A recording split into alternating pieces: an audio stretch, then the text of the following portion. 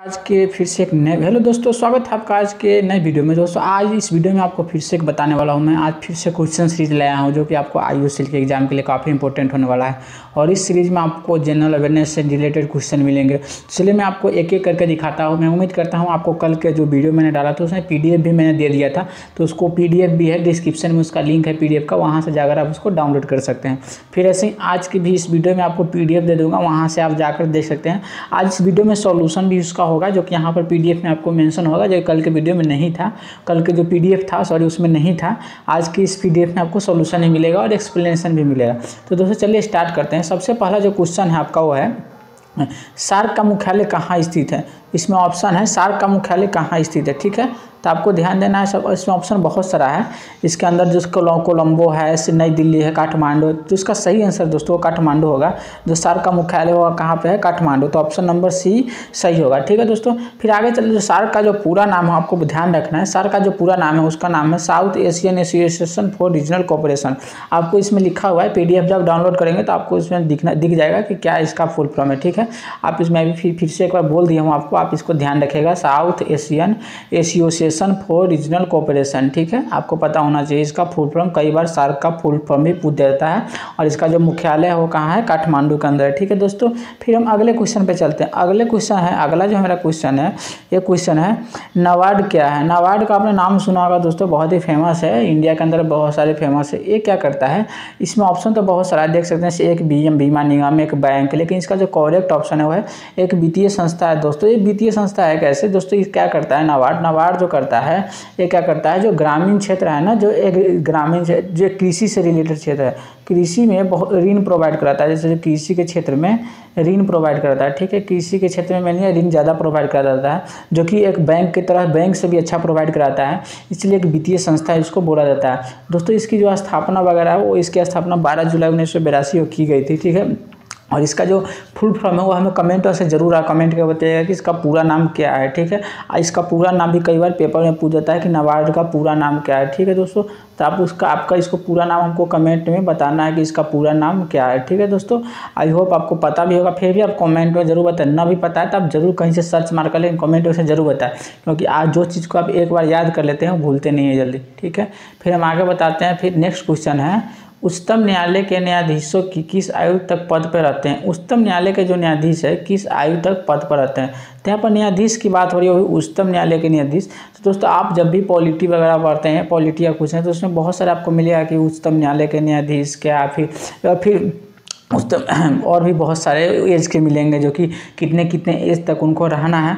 तो इनके लिए इस उच्चतम न्यायालय का जो न्यायाधीश है, उसका जो एज है रहने का उनका कितना है? सिक्सटी फाइव ईयर है, ठीक है? तो इसका जो करेक्ट आंसर हो जाएगा सिक्सटी फाइव ईयर है दोस्तों, मैं क्वेश्चन लाता हूँ बेसिकली आप लोगों के लिए बताने के लिए लाता हूँ, इसमें मैं आंसर लिखा रहता हूँ, ज़्यादा मैं एक्सप्लेन करने के व्यू से नहीं लाता हूँ। आप खुद इसका ज़्यादा से ज़्यादा अगर आपको इसका डिटेलर कंटेंट पढ़ना है तो आप कहीं से सोर्स सोर्स से ले सकते हैं।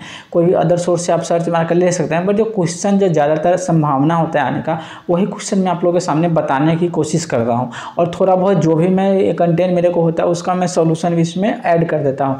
जैसे कि मैंने हाईलाइट कर दिया है, जैसे यहाँ पर देख सकते हैं, भारत में उच्चतम न्यायालयों के न्यायाधीशों की बासठ वर्ष तक पद पर रहते हैं, ठीक है? एक तो उच्चतम न्यायालय, एक उच्च न्यायालय, दोनों में अलग अलग है। तो बासठ वर्ष के पद तक रहते हैं, ठीक है? तो ये मैंने कुछ हाईलाइट आपको कर देता हूँ पॉइंट ठीक है? जिसमें आपको पता लगते रहे कि थोड़ा बहुत ही क्या इसका सोल्यूशन है, थोड़ा बहुत सोल्यूशन से रिगार्डिंग आपको अदर नॉलेज भी इस वीडियो के, उसके रिलेटेड में दे देता हूँ।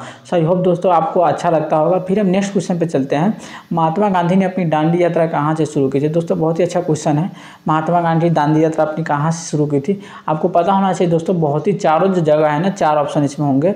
देखिए यहाँ पर हाँ एक पोरबंदर है, ठीक है। एक साबरमती आश्रम एक डांडी है और एक लास्ट वाला जो मेरा ऑप्शन है, वो क्या चीज़ है? लास्ट में अहमदाबाद ऑप्शन है, ठीक है? अहमदाबाद एक ऑप्शन है, ठीक है दोस्तों? तो दोस्तों, चारों जो ऑप्शन है ना, बहुत ही इंपॉर्टेंट ऑप्शन है, ठीक है? लेकिन जो महात्मा गांधी अपनी डांडी यात्रा कहाँ से शुरू की थी? तो दोस्तों, आप साबरमती आश्रम का नाम सुने ही होंगे। साबरमती आश्रम से डांडी यात्रा शुरू की थी, ठीक है?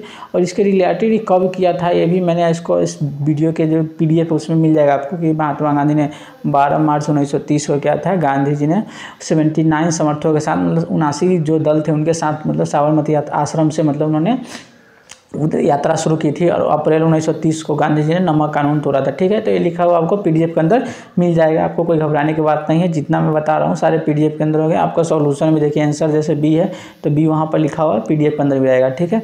फिर हम नेक्स्ट क्वेश्चन चलते हैं। ये साइंस से रिलेटेड क्वेश्चन है। ठीक है? वाहन गिरेगा यदि मतलब आप सिंपल ही लॉजिक क्वेश्चन है। आप अगर फिजिक्स वगैरह पढ़ते होंगे तो उसमें क्वेश्चन देखने को मिलता होगा। वाहन गिरेगा, गिर पड़ेगा यदि क्या होगा उसका? गुरुत्व केंद्र आधार के बाहर हो। ठीक है?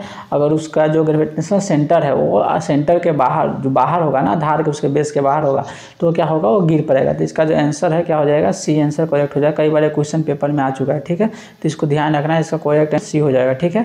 पाँच का, फिर हम आगे चलते हैं, छः। कामरूप किसका प्राचीन नाम है? ठीक है दोस्तों, बहुत ही अच्छा क्वेश्चन है भी कई बार पेपर में आ चुका है। तो जो कामरूप प्राचीन नाम किसका असम का नाम है, ठीक है? आपको ध्यान रखना है, ठीक? फिर हम आगे चलते हैं क्वेश्चन नंबर सात पे। दोस्तों क्वेश्चन नंबर सात है बेसिकली यहाँ पर टाइपिंग में थोड़ी गलती हो गई है।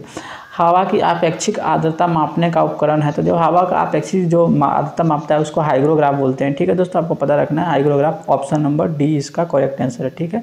फिर नेक्स्ट क्वेश्चन पर चलते हैं। राष्ट्रपति को कौन पद की शपथ दिलाता है? मतलब राष्ट्रपति को शपथ कौन दिलाता है, ठीक है? तो आपको यहाँ पर बहुत सारा ऑप्शन देखिए जैसे भारत के मुख्य न्यायाधीश है, इसमें ऑप्शन ठीक है।